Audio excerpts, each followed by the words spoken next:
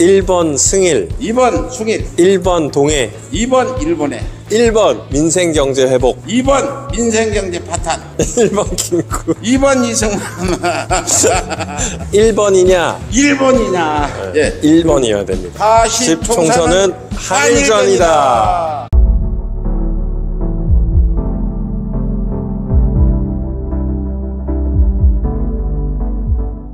그 역사라는 부분의 가치를 이제 드높이는 방법이 여러 개가 있는데 제가 느끼는 거는 그 역사를 왜 요새는 파묘라는 영화 있지 않습니까? 이제 어찌 보면 우리가 일본으로 하여금 우리의 이 지리적인 이 한마디로 이 치욕스러운 어, 아픈 과거가 있다는 거를 그 파묘로 알렸잖아요.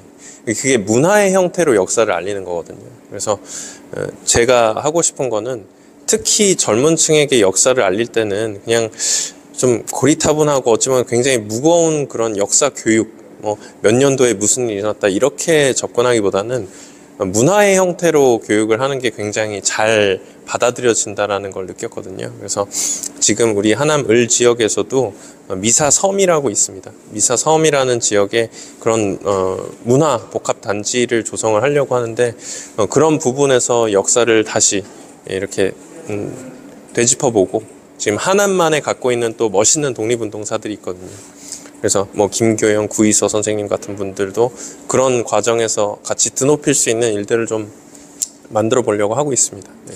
예, 방송 보시는 분들 중에 네. 칭찬은 고래도 춤춘다고 그랬어요. 네.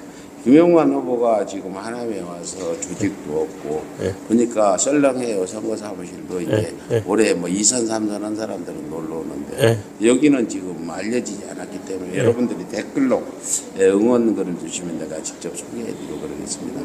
예, 역사 부분에 대해서 이제 30대들한테 어떤 방법으로 알릴지 아, 얘기했는데 알지가 아니라 여기서 알려달라니까 여기 정만 보시고 네. 어, 한마디 어, 해주시라고.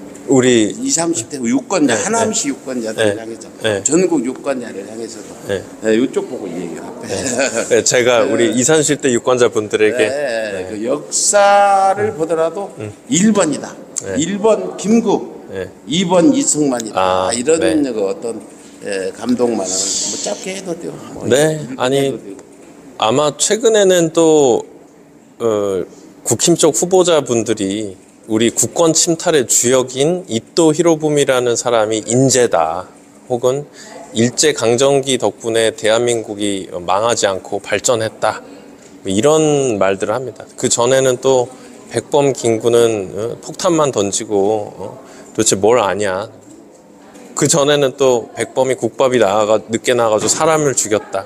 뭐 기타 등등 너무 안 좋은 얘기들이 많거든요.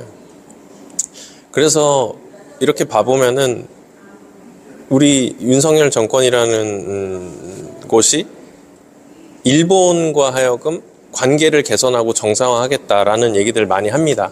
어, 굉장히 듣기 좋은 얘기죠. 진짜 일본과의 관계가 좋아지면은 얼마나 좋겠습니까? 우리 든든한 이웃 나라로서 어, 우리 편이 돼줄 수 있으면은 근데 실질적으로 지금 윤석열 정권이 일본과의 관계 개선에 있어서 기여하고 있는 부분이 하나도 없습니다. 만약에 기여한 부분이 있었다고 하면은 지금 일본이 윤석열 정권을 신뢰한다라는 기시다 총리의 재임 성과를 발표하는 자리에서 일본 외무상이 독도가 일본 땅이다. 라는 얘기를 하면 안 되죠. 근데 하지만 여전히도 윤석열 정권 아래서 독도가 일본 땅이라는 말을 하고 있습니다. 이 독도라는 우리 땅은 그냥 우리 땅이 아니고요. 40년 통한의 역사, 즉 우리가 일제 강점을 받았을 때 정말 불법적으로 침탈당한 그 어, 한마디로 그들에게 있어서는 점령지에 대한 에, 한마디로 에, 소유권을 주장하는 건데요. 그래서 독도라는 것을 우리 땅으로 잘 지켜야만 우리 대한민국의 정말 완전한 에, 이 자주권을 확립할 수 있는 겁니다. 그래서 원래 20, 30대 분들께서 또 온라인 활동을 잘 해주시니까 우리 땅 수호를 하기 위해서 이번 총선에 꼭 투표를 해주시길 바라고요. 요새 그런 말을 많이 합니다. 이제 지난번 우리 초심님이랑 같이 방송을 했던 방학진 실장님께서 얘기를 하시는 건데요.